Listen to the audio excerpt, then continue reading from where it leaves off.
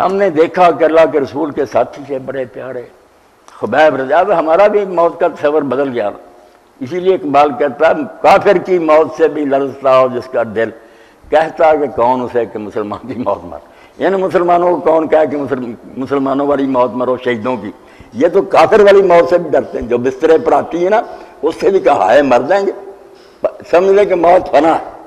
काफिरों ने हमारे जहन में ज़ुबान से नहीं कहता दिल में यही है कि यार मकान छूट जाएँगे, बीवी बच्चे छूट जाएँगे, वहाँ गड़े में चले जाएँगे ये यकीन नहीं कि मौत सिर्फ़ मकान की तब्दीली है।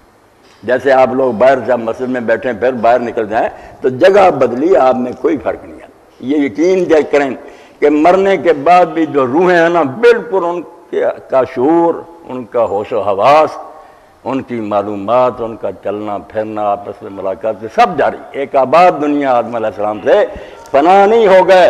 जो मौत को समझे ना कि यदि मैं मिट गए काफिर है। नेक लोग हैं, वो रेस्ट हाउस में ठहरे हुए हैं, खुशबुएँ हैं, जन्नत की तरफ़ से दरवाजे खुले हुए हैं, वहाँ आराम कर रहे हैं।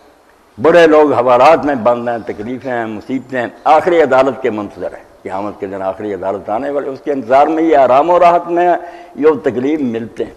हदीस पाक में कहा कि जब कोई शख्स फौत होता तो उसकी रूह उस दुनिया में ले जाई जाती है।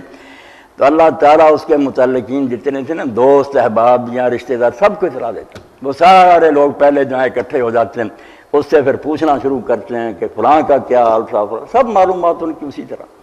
हती कि जब बात किसी ऐसे आदमी की आती है जिससे पहले फौत हो गया, उसका पूछते हैं तो वो कहता है, यार, वो तो मुझसे पहले फौत हो गया। फिर रसूल करीम सलाम ने फरमाया कि वो लोग गमगीन हो जाते हैं, कि अगर पहले फौत हो गया और हमने शामिल नहीं हुआ तो फिर तो छांटी होगी, बदकिस्मत दूसरी तरफ़ चला गया?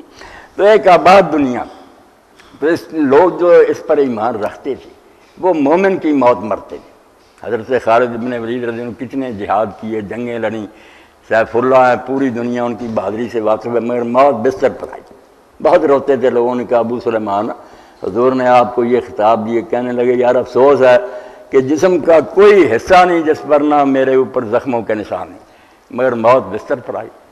जिहाद में शहादत की मौत नसीब नहीं हुई।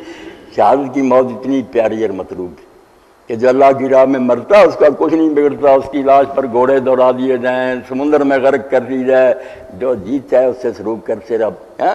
हज़रत अब्दुल्ला बिन जुबैर से जब मैंने मुसलमानों ने बुरा सलूक किया तो अब्दुल्ला बिन उमर रज़ी मिले, उनकी वालदा से हज़रत असमा से, हज़रत से बकर की बेटी थी रज़ी अल्लाह ताला तो उन्होंने कहा, माँ, जब बकरी ज़बा हो जाती है ना तो उसकी खाल के साथ और जिसम के साथ जो मर्ज़ी लोग करते रहें, उसकी रूह जो अल्लाह के पास चली जाती है। इसलिए फिर नेक लोगों की रूहें आराम और राहत में चली जाती हैं। बुरे मुसीबत में